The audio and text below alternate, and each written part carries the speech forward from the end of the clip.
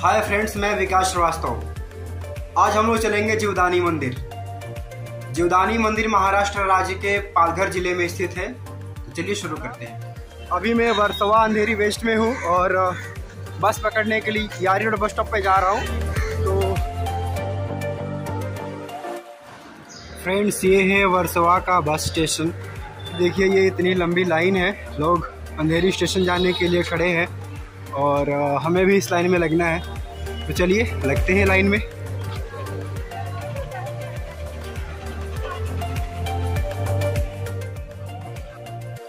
Friends, जब तक हम सफ़र में हैं, तब तक मैं आपको इस मंदिर के बारे में कुछ बता देता हूँ।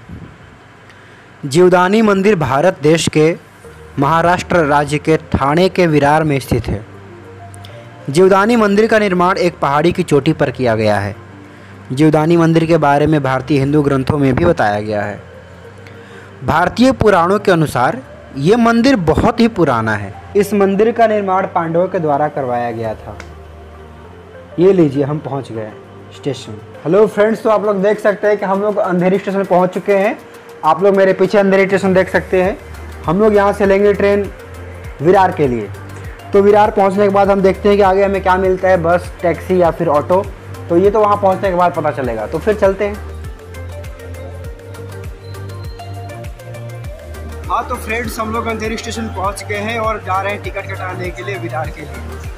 तो वैसे सामने में दिख रही है टिकट काउंटर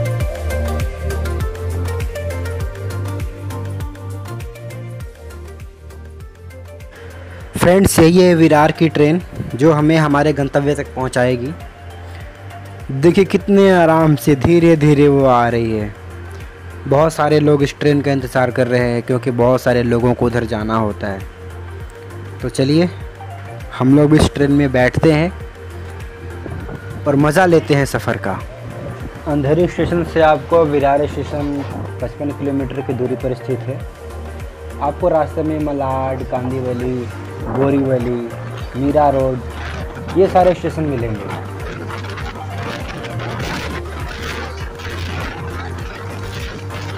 बीच रास्ते में आपको बहुत बड़ी बड़ी बिल्डिंग्स देखने को मिलेंगी। जो, मुंबई में अक्सर आपको हर जगह मिल जाएगा। और ये खूबसूरत नज़ारा है नए गाँव के पास।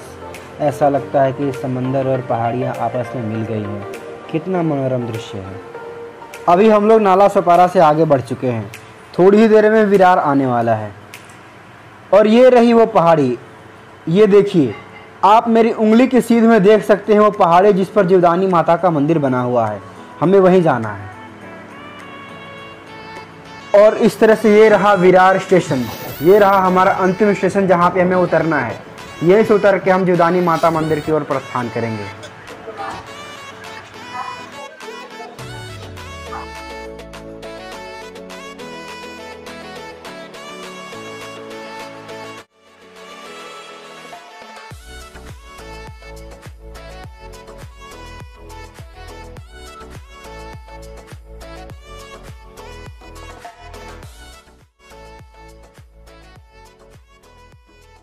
हाँ तो फ्रेंड्स फाइनली हम पहुँच गए हैं यहाँ पर जीवदानी माता मंदिर के पास में। मैं आपको वो मंदिर दिखा देता हूँ। ये देखिए फ्रेंड्स ये है जीवदानी माता का मंदिर जहाँ पर हमें जाना है।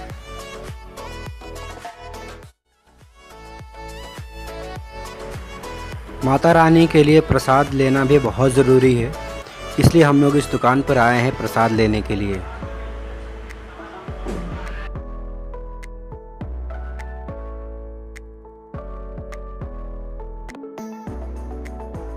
फ्रेंड्स ये इस दुकान का ऑनर है। हम लोग हम लोगों ने यहाँ से प्रसाद लिया है माता रानी के लिए।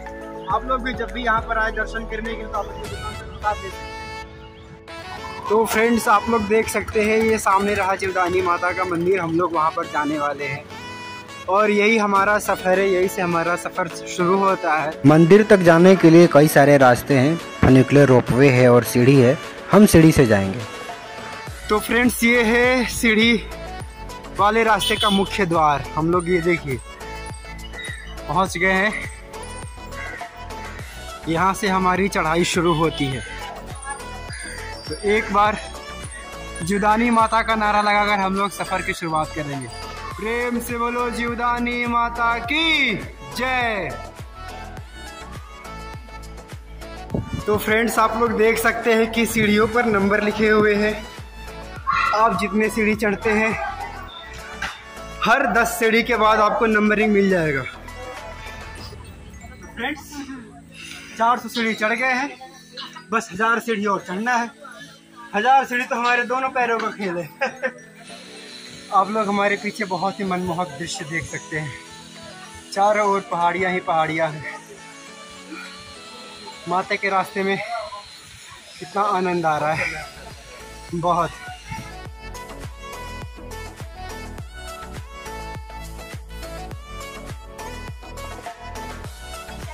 अभी सफ़र और तय करना है। हम थकेंगे नहीं। जय माता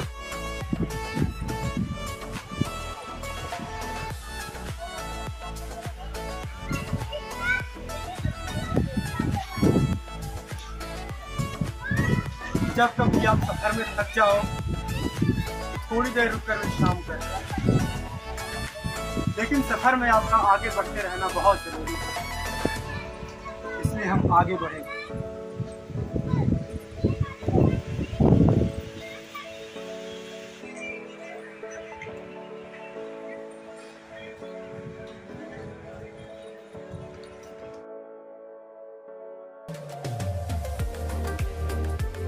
तो फ्रेंड्स, हम लोग माता के मंदिर में पहुँच चुके हैं और आप मेरे सामने वो जीवदानी माता का सुंदर दृश्य देख सकते हैं।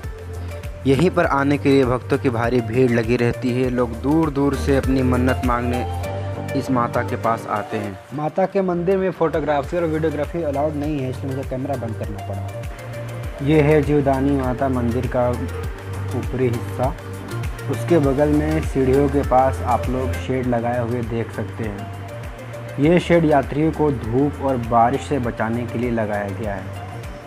और मंदिर के जस्ट सामने में आप देख सकते हैं कि कितना मनोरम दृश्य है। यहाँ पर मौसम हमेशा ऐसे ही रहता है। बहुत प्यारा, बहुत खूबसूरत। फ्रेंड्स तो हम लोग देखे माता का दर्शन करने के बाद यहाँ काल भैरव मंदिर के पास और काली माता के मंदिर के पास आ गए हैं। मेरे पीछे आप लोग काल भैरव का मंदिर देख सकते हैं और उसके जस्ट बगल में माँ काली का मंदिर है। आप देख सकते हैं। और यहाँ पर आप मेरे पीछे जिधर भी नज़र दौड़ा रहे हैं, आप देख रहे हैं कि भक्तों की भीड़ लगी हुई है। चारों ओर भक्त ही भक्त आपको दिख रहे हैं। यहाँ पर बहुत ही मनोरम दृश्य हुआ है। आप देख सकते हैं। मैं आपको बाहर की ओर दिखाता हूँ। बाहर नीचे की ओर हम पहाड़ी के ऊपर खड़े हैं। माता रानी का मंदिर पहाड़ी के ऊपर है। लेकिन पहाड़ी के नीचे बस क्या खूबसूरत घर दिख रहे हैं। आप मेरे पीछे देख सकते हैं।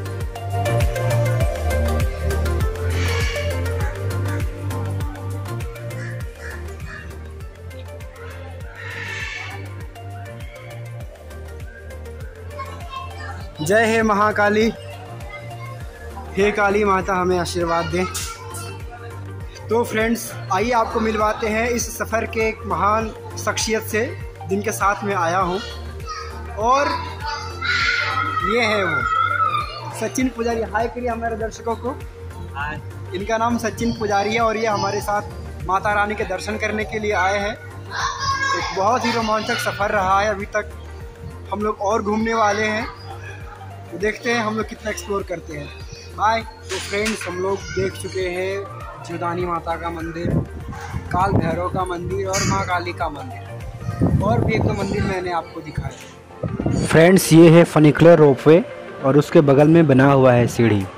आप दोनों में से किसी रास्ते से यहाँ पर आ सकते हैं। उतरते समय तो बहुत ही मज़ा आ रहा है। आप देख सकते हैं कैसे मैं मज़े करते हुए उतर गया हूँ। तो फ्रेंड्स, ये रहा जीवदानी माता का सफ़र। पीछे मेरी जीवदानी माता है, आप देख सकते हैं। हम लोग अभी वहीं से आ रहे हैं। तो हम लोगों ने पूरा सफ़र का मज़ा लिया, माता रानी का दर्शन किया और आप मेरे चारों ओर का मनोरम दृश्य देख सकते हैं। तो चलिए, अब हम लोग वापस घर की ओर प्रस्थान करते हैं। आशा करता हूँ फ्रेंड्स कि आप लोगों को ये वीडियो बहुत अच्छा लगा होगा। तो प्लीज़ आप लोग इस वीडियो को लाइक करें, शेयर करें और इस चैनल को सब्सक्राइब करें। नमस्कार।